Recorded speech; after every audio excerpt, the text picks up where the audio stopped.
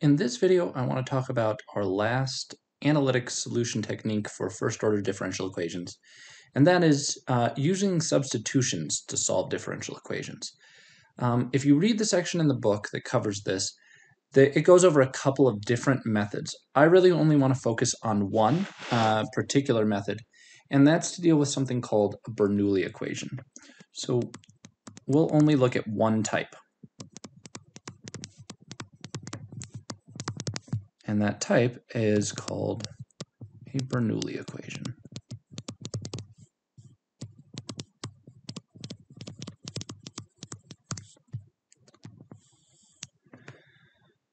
Okay, um, or Bernoulli's, I guess. Oops, Bernoulli's, there we go. Bernoulli's equation. Uh, So the idea of a Bernoulli equation, or Bernoulli's equation, is that we've got our derivative dy dx plus some p of x, y, this should look familiar, so far it's looking like a linear term, equals some f of x over here with one additional piece. On the right-hand side, we're going to multiply whatever function of x this is by y to the n, where in this case, n can be any real number. Um, we'll stick to ones for the most part where n is an integer, uh, but it can be any real number. So if we look at this equation and just ignore this last piece, this looks exactly like the linear equations that we dealt with uh, and solved using integrating factor. Um, and in fact, if we think of this n as being either 0, so we have y to the 0, which would just be 1, then we get back the exact same linear equation we were looking back at before. Uh, and even if y is equal, or sorry, if n is equal to 1, um, it turns out that it can be a linear equation because I have a y to the first power here, a y to the first power here. I could just subtract this whole term over to the other side and do a combined coefficient that involves both the p of x and the f of x. So if n is equal to 0, or n equals 1. This is a linear equation. And when it's a linear equation, we'll be able to solve it using techniques that we've already dealt with. If it isn't, so if n is not equal to 0 or 1, then we'll use a substitution. And again, I don't think this substitution is necessarily intuitive until you see what it, the end result is. And the substitution is that we're going to use is we're going to write our equation in terms of a new variable u. And u is going to be y to the 1 minus n, where this n here matches this n here. So this is going to be the substitution that we'll use. Um, the impetus for this behind this technique uh, came a long time ago. Again, somebody that studied one of the Bernoullis, which is a big family of mathematicians, studied this type of equation for a long time, figured out that this substitution works. So I think it's going to be easiest to just do an example and we'll see exactly what happens. When we make this substitution, what ultimately results uh, is an equation that can be solved with our traditional uh, techniques that we've already looked at, and it basically takes it to a linear equation. So this substitution should yield a linear equation.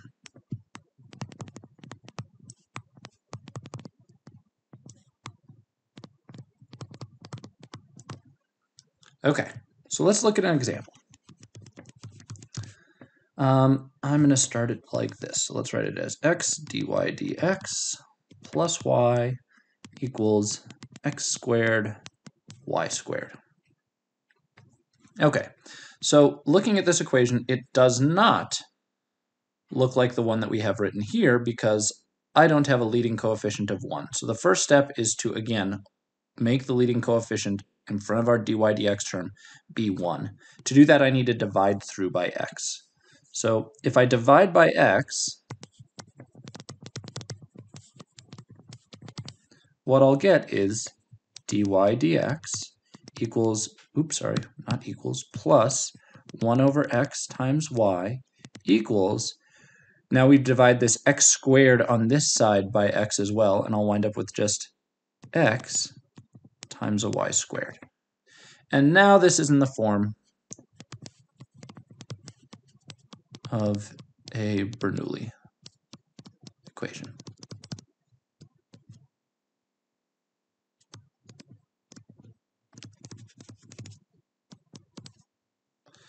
Okay. Um, one thing that I do want to mention is because we divided by x, this equation actually has some limitations that this one didn't have. So for example, x cannot be 0 because we're dividing by x. So all this does typically is put small restrictions on what the domain of the function can be. So just keep in mind, we're kind of looking out for points uh, where the function might be, the differential equation is undefined. In this case, it's undefined when x equals zero because that is uh, because we're dividing by x in this in this case. Okay, so this is, again, zooming out so we can see the form here. This matches the form of a Bernoulli's equation. We've got our dy dx. We've got some function of x times y. Here's our some function of x times y.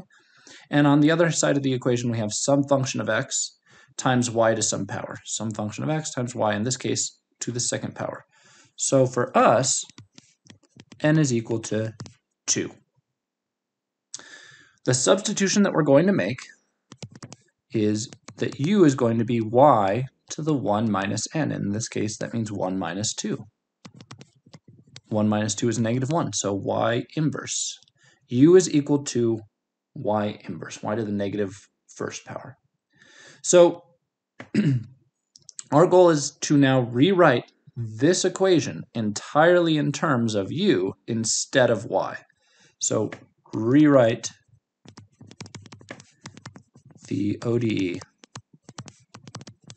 in terms of u. And um, that means that we're going to want to basically come into this equation and everywhere that y shows up, we're going to want to replace it with u. So we're going to need to basically do a little bit of algebra to fix things up. We have right now that u is equal to y inverse.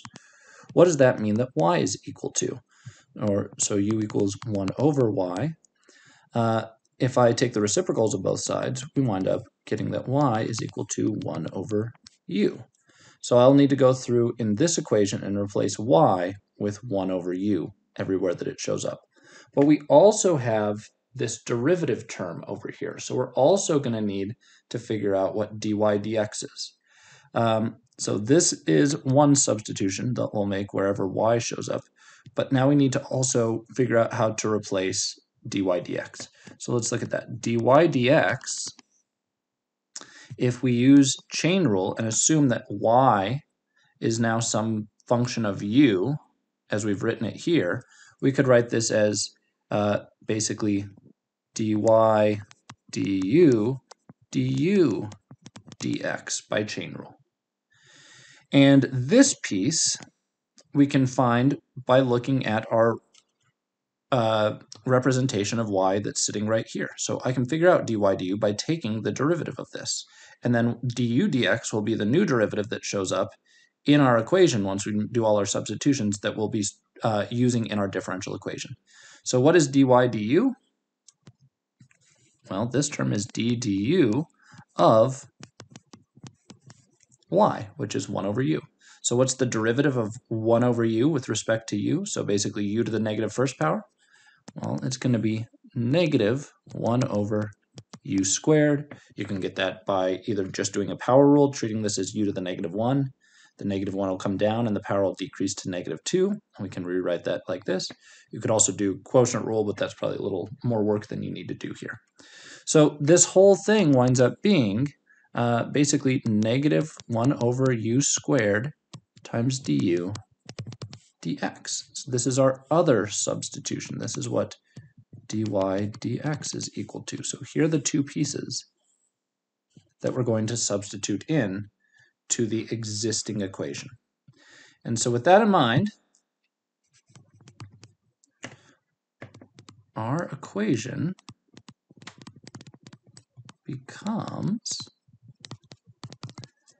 the following. So the first thing I have is dy dx, this term here, but dy dx is negative 1 over u squared times du dx. So that's going to be our first term, negative 1 over u squared, oops, u squared times du dx. Plus 1 over x, right? We aren't changing that part. Uh, all we're doing is replacing um, substituting u in place of y. We aren't doing anything to the functions of x. This is u is also still a function of x. So I have keep my 1 over x, and then that's times y. What was y equal to? 1 over u. And what's it equal to? Well, it's equal to x times y squared. So x times y squared, what is y squared? Well, if this is what y is, y squared is, I just have to square that and get 1 over, oops, 1 over u squared. So this is our equation in terms of u. Going back, right, these two things are the same equation.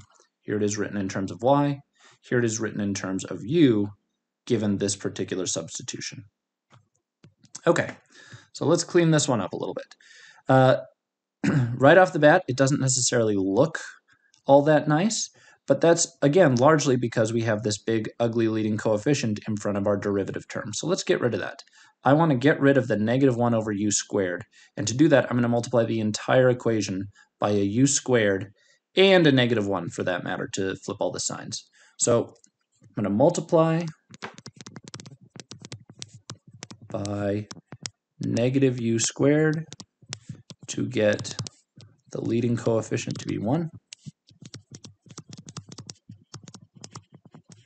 And I'm using this maybe leading coefficient as uh, sort of an abusive terminology. Basically, again, the coefficient of the derivative term. That's what I want to be 1. So I'm going to multiply by negative u squared every single term. When I multiply this term by negative u squared, uh, the negative signs will cancel and become positive, and I'll have a u squared on the top, u squared on the bottom, and we will get our desired coefficient of 1. So I'll wind up with just du dx. Uh, when I have, have my negative u squared term hit this piece, I'm just dividing by a u. So it was originally positive. This will turn it negative, so it'll be a minus sign. And I have u squared over u, essentially, uh, and a 1 over x. So 1 over x, u squared over u. And then for the last term, again, I multiplied by negative, sorry, here it is, negative u squared times this term. I still have the x there. The negative sign will make this whole thing negative. u squared in the numerator, u squared in the denominator. This thing is just a negative 1. And we can clean it all up, and we get that du dx minus 1 over x times u, right? That's what this simplifies to, equals negative x.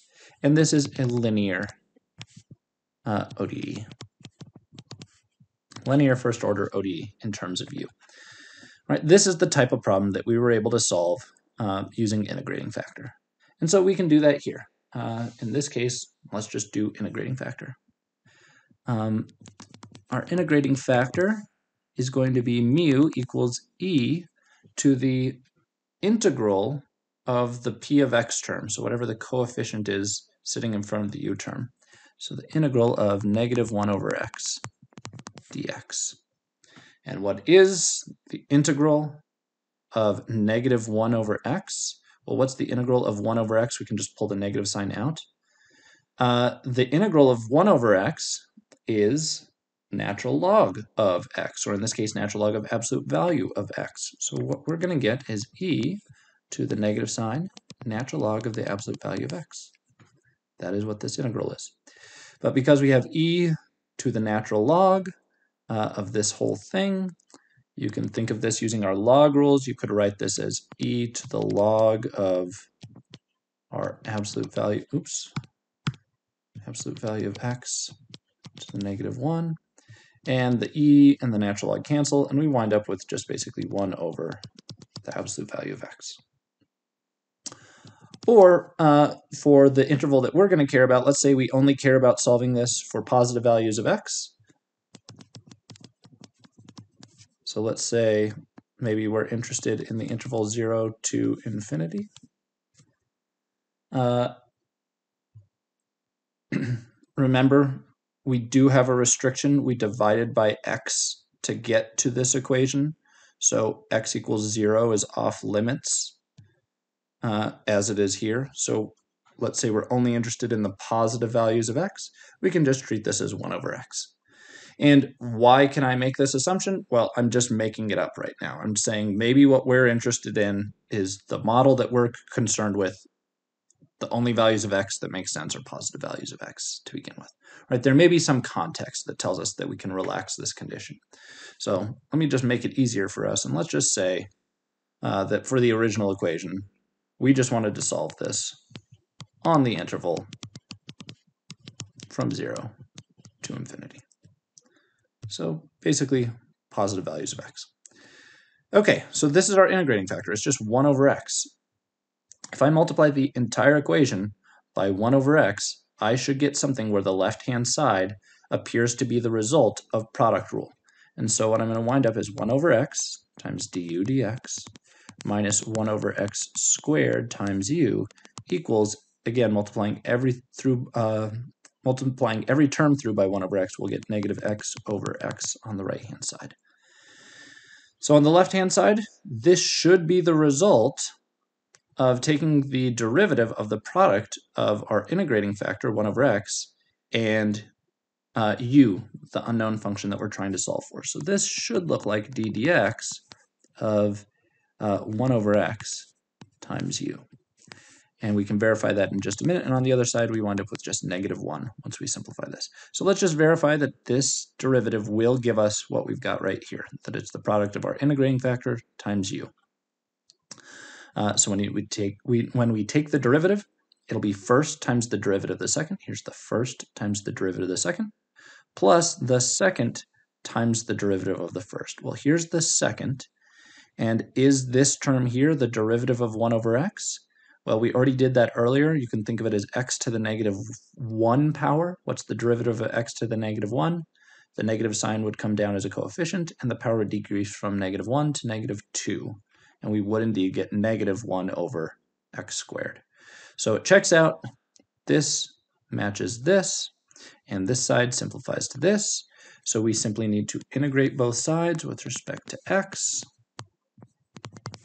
And on the left-hand side, I'll simply get 1 over x times u. And on the right-hand side, our integral of negative 1 is simply going to be negative x plus some constant. Uh, to solve for u, I'll just need to multiply by x on both sides, and we will get that u is equal to negative x squared plus cx. And so this is what our u value looks like. We've solved the differential equation for u. We've solved this differential equation, or for that matter, this differential equation. But that's not what the original equation was. The original equation was a function of y. So we need to go back and plug in our substitution and solve for what the answer is in terms of y. Right? So let's write that down. But the original equation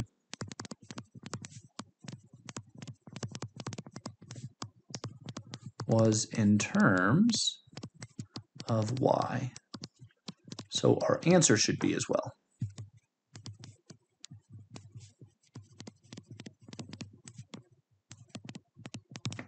Okay. So going back to our substitution, what is u equal to? Coming way back here, u is equal to 1 over y. So recall that u is equal to 1 over y. That means our answer is 1 over y equals negative x squared plus cx. And if we want to solve that for y, we can take the reciprocal of both sides and get 1 over negative x squared plus cx. And there is our answer. Uh, if we have an initial condition, we could plug that in to solve for what c is. But this is our answer. To just review real quickly, the whole process is recognizing the equation, right? So recognizing that it looks like one of the linear equations that we've done before, and the only thing making it nonlinear is that the right-hand side, this function over here of x, has a y raised to some power multiplying it.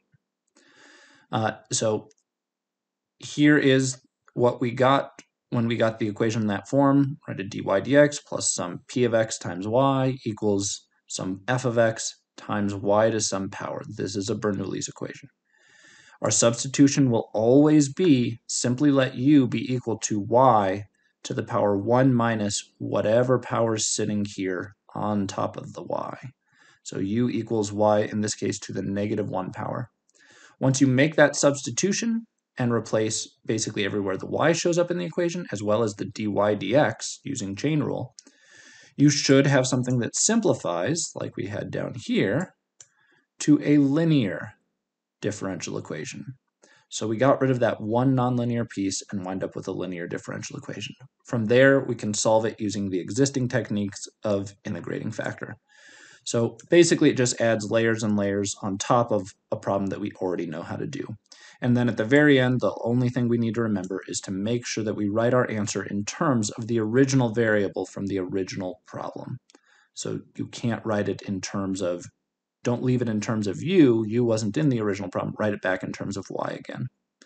Um, and notice this answer even has the same restrictions. Clearly in this case, x cannot be zero. We had that restriction uh, pop up earlier in the problem. It even shows up in the solution. x equals zero is clearly not a valid um, a valid point in the domain of this answer right here.